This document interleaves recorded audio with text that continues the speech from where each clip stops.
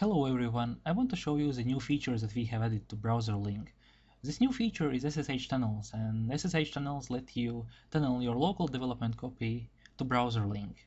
Let's see how it works.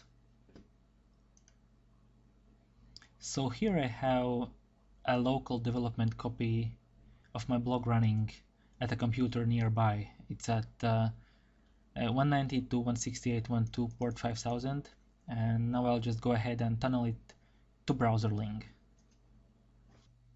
So let's go into Browserling and uh, choose the SSH menu from the right. And we'll be tunneling port 5000 and let's click the open tunnel button here. This generates an SSH command that you can just copy and paste to your terminal. So I'll go to the terminal and open a new screen session and paste the command here and now it will ask me for my SSH password. So now I have the tunnel open and I can go back to Browserling and click the visit link here and this will open the tunneled uh, the tunneled website in Browserling.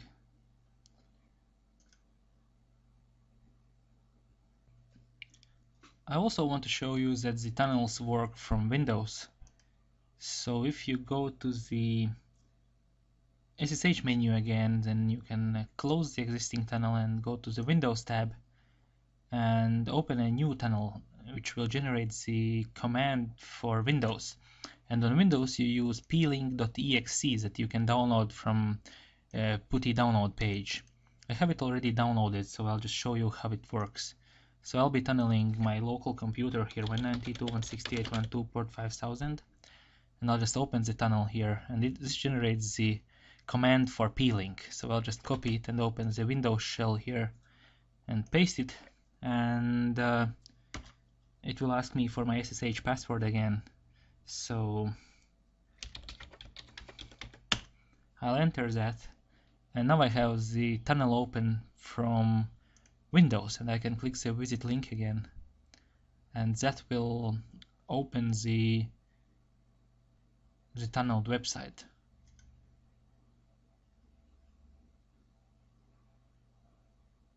And finally, I want to talk about the security of tunnels.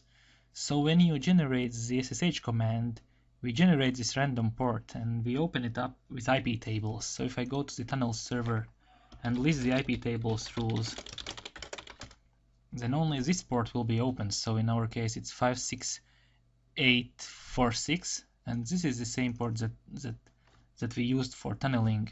So only this port is uh, open.